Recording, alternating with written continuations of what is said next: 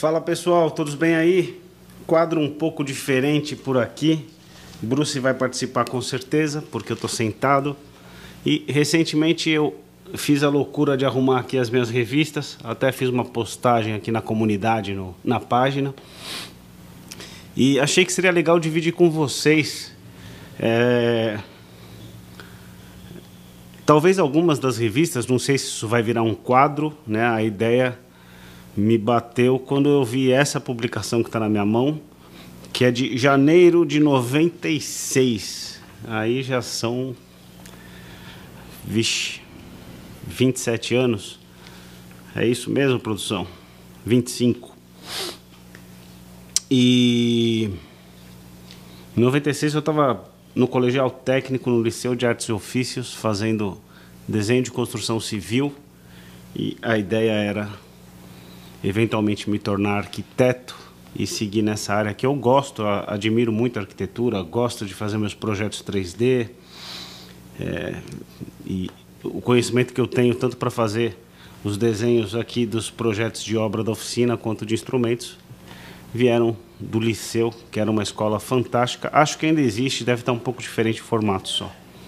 E a que eu trouxe hoje é a Guitar Player Brasil número 1.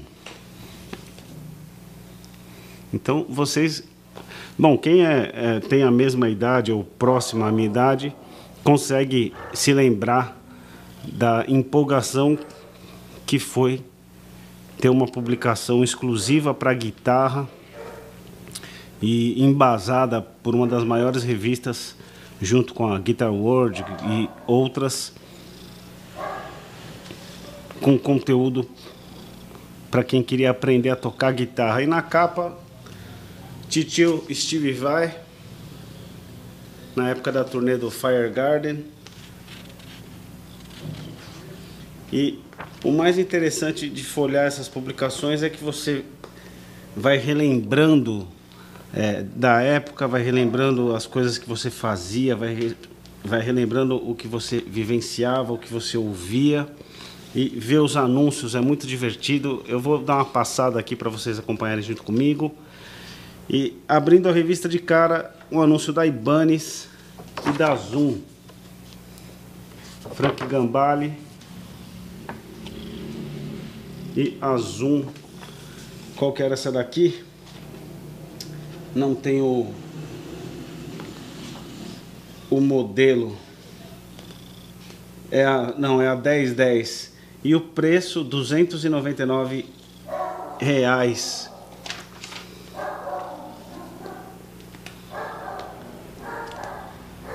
uma pedaleira da Arte Extreme. Eu acho que já me ofereceram essa pedaleira numa troca há muito tempo. E aí o índice, propriamente dito.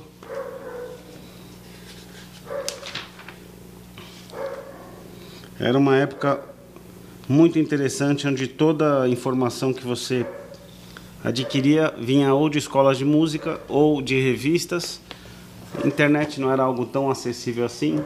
Propaganda do disco do Satriani, eu adoro esse disco.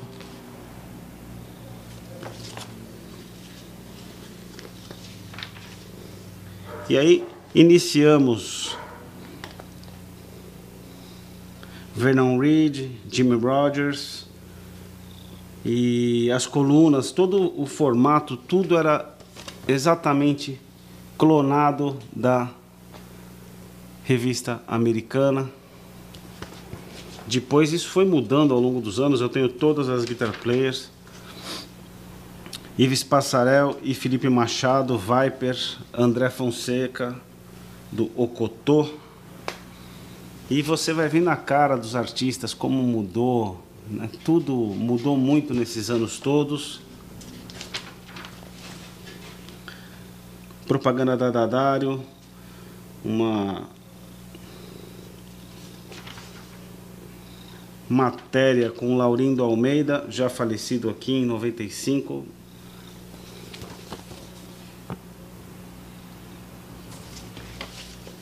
Uma viagem no tempo realmente. O Govett Muller, do Warren Haynes. Eu vi um show desses caras na TV Cultura, simplesmente fantástico. Bruce está machucando. Precisa parar de pôr a unha, criança. Propaganda da Hartic Systems. Olha a diferença, né? A propaganda do disco de Steve Vai, uma propaganda de página inteira.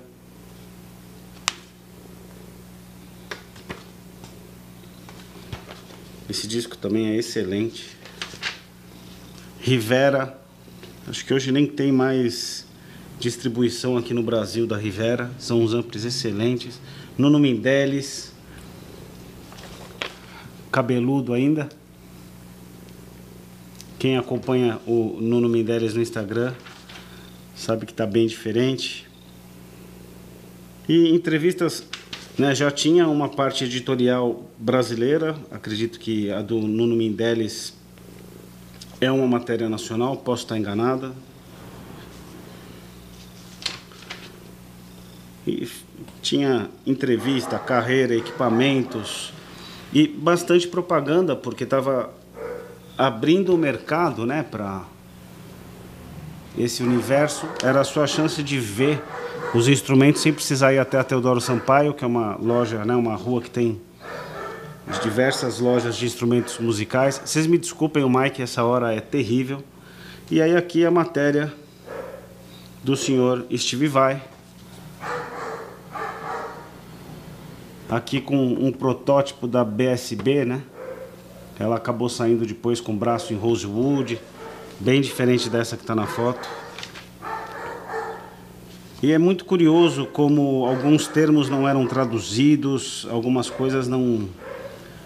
É, ainda não existia um dialeto brasileiro para isso. Então eles pegavam empréstimo dos termos gringos e isso é assim até hoje, né? A gente não fala batendo com as duas mãos, a gente fala two-handed tapping, né? Ainda é emprestado do e eu lembro que quando eu vi essa parte de exercícios e, e foi era matéria de estudo para o mês inteiro, porque você só tinha uma revista por mês, tinha que esperar 30 dias a revista aparecer na banca de jornal. Se você tivesse sorte, aparecia numa banca perto da sua casa. Eu não tinha essa sorte, normalmente não aparecia. E eu tinha que ir até a Avenida Paulista ou até a Teodoro Sampaio para poder comprar a minha revista. Mas matéria do Chivai, propaganda de loja. Essa loja eu não sei nem se existe ainda. Me falaram que muitas lojas fecharam na Teodoro Sampaio, eu não tenho mais ido lá. Uma matéria sobre carreira, como pôr em prática uma carreira rentável de professor por David Smolover. É matéria Gringa, com certeza.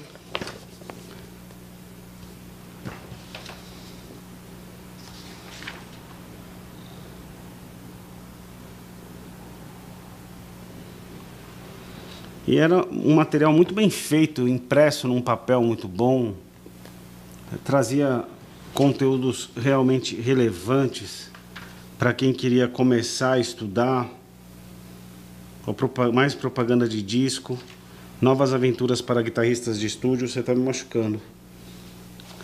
E acho que se eu mantiver esse quadro, vai ser um quadro que o Bruce vai participar sempre, porque se sentar, ele vem no colo.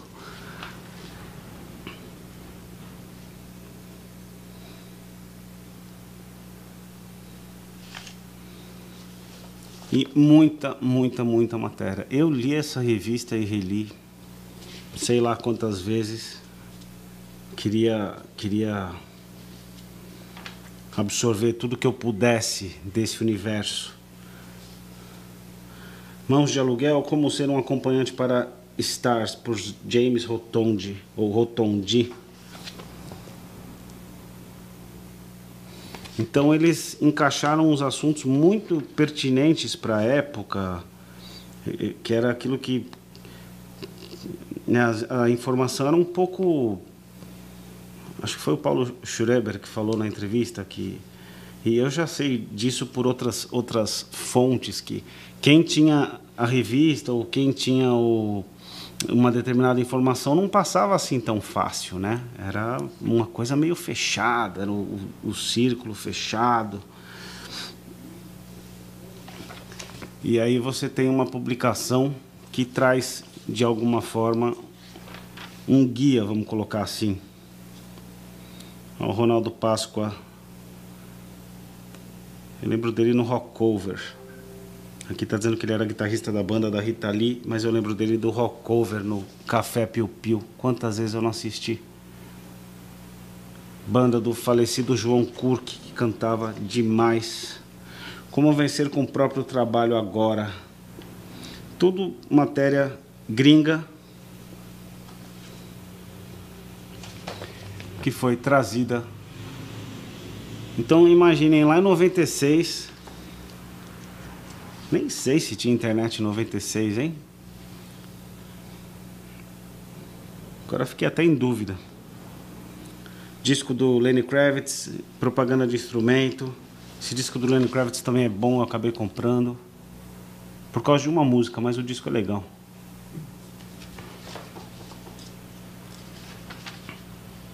Ó, Bourbon Street, a agenda do Bourbon Street, janeiro de 96, Devil Crawford, Brian Lee, Jump Street 4.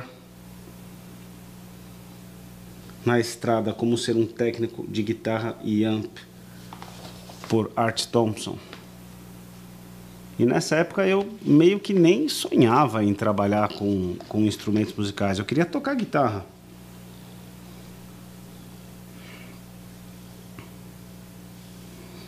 Aqui uma verdade: se você não se dá bem com as pessoas, não importa se sabe consertar reatores nucleares, você não vai durar muito. É uma verdade que se aplica até os dias atuais.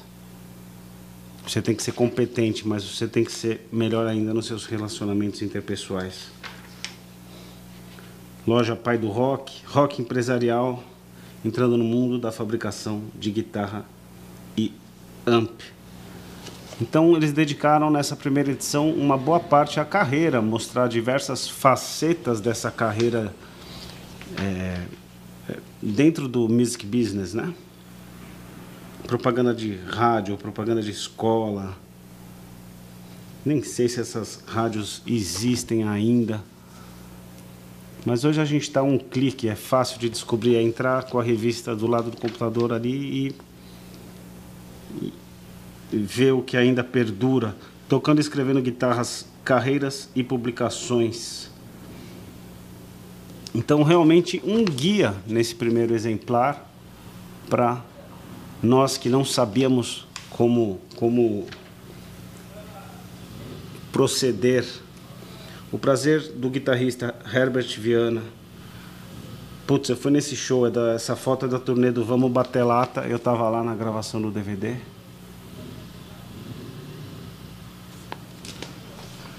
Foi o primeiro show que eu fui na vida, foi um negócio simplesmente é, absurdo. É, ouvir o som de guitarra ao vivo naquele volume, o, o, o cara tocou muito bem.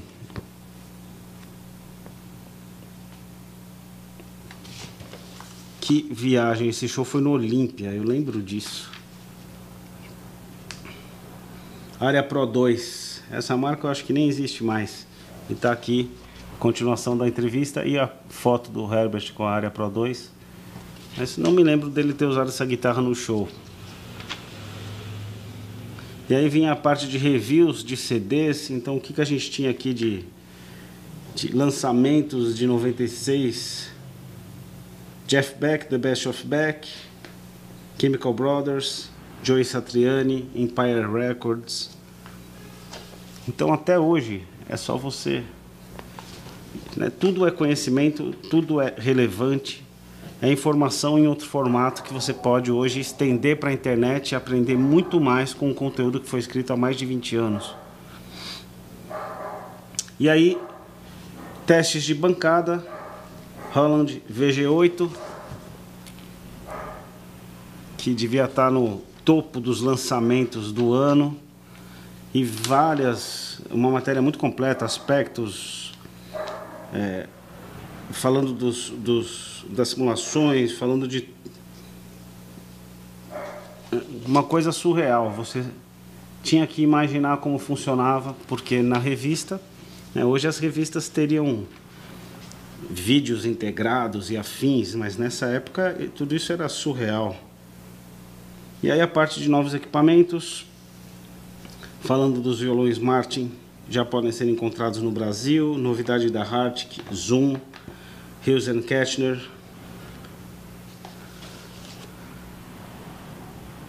E essa parte toda em preto e branco, se eu não me engano. Propaganda do CD do Full Fighters. Parte de reparos, mas aí era do Dan Erlewine que escrevia. É, não sei se ele escreve para Guitar Player americana ainda. O Dan Erlewine é aquele senhor que faz os vídeos para Stuart McDonald. É um baita de um técnico de guitarra. Aí a sessão Spotlight, onde conhecidamente foram, né, foram é, lançados Yngwie Malmsteen, Paul Gilbert, Rich Kotzen, Blue Saraceno, entre outros. É, e aqui tem o Marcos Otaviano,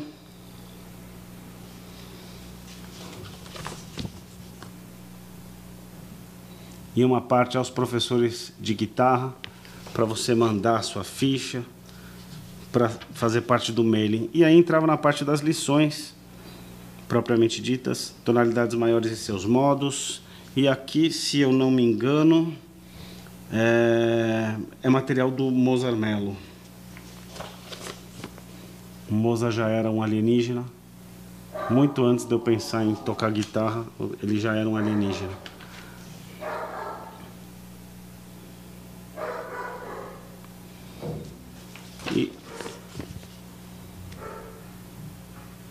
bastante material de estudo, propaganda da Epiphone, propaganda da, da, da Marshall, dando boas-vindas à Guitar Player Brasil.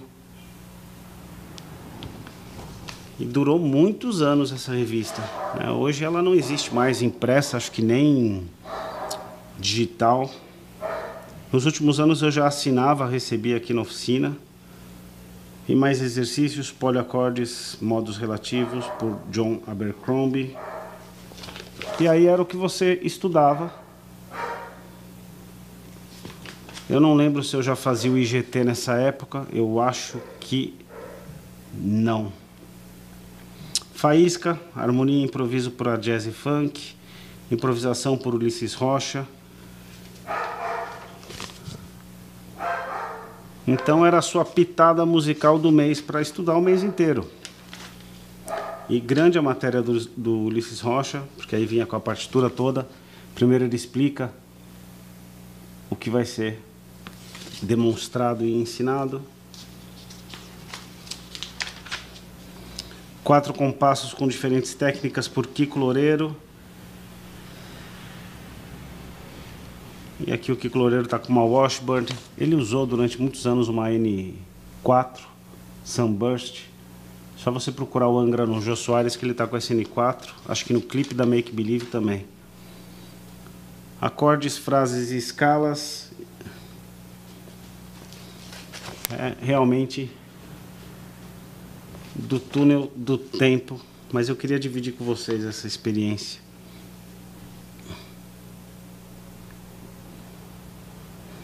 Colaboradores Kiko Loureiro, Ulisses Rocha, Cláudio Celso, Faísca. Aí aqui tinha o melhor em songbooks, métodos e vídeos. Aqui com certeza era... Não vou falar com certeza, mas acho que ainda era VHS, hein? Acho que a gente não estava na, na era do DVD ainda. E aí vinha a parte de classificados, Fender Squire Strato branca, 350 reais. Violão Takamine. Guitarra Guild tipo L5 ano 64, raridade. Muito interessante. Classificado igual de jornal mesmo. Você punha um, um anúncio com o que você tinha para vender, fosse serviço, fosse equipamento. Podia fazer um, um anúncio mais bacana para aparecer. Eu anunciei na Guitar Player em 2010 ou 2011, não chamava nem Forehand Luthieria, mas eu não tive uma boa experiência com isso, então acho que foi uma edição ou duas só. Índice de publicidade e mais uma propaganda belíssima da Marshall. E aí encerrava com a Zoom na contracapa. A Zoom que era tão acessível a gente que queria ter é, os pedaizinhos e. Agora eu conto a história do meu primeiro pedal. Não foi uma excelente história. Eu já devo ter falado em alguma live. Então eu queria dividir com vocês essa viagem no tempo. Se vocês gostarem, se for um vídeo que agrade a uma grande quantidade de pessoas, quem sabe eu não faço mais alguns. E aí tento manter a ordem, aí mostro a Guitar Player 2, a 3 e assim vamos. Mas de revista eu estou muito bem servido. Cover Guitarra, Guitar Player, Guitar Class, Total Guitar e um monte de revista gringa. Deve ter umas quatro, deve ter mais de 400 revistas ali em cima, fora os livros. Então eu espero que vocês tenham gostado, que vocês tenham se divertido e nos vemos, quem sabe, num próximo episódio. Você quer falar alguma coisa? Você ficou me arranhando o vídeo inteiro? Não? Então se cuidem aí, pessoal. Um abraço e até o próximo.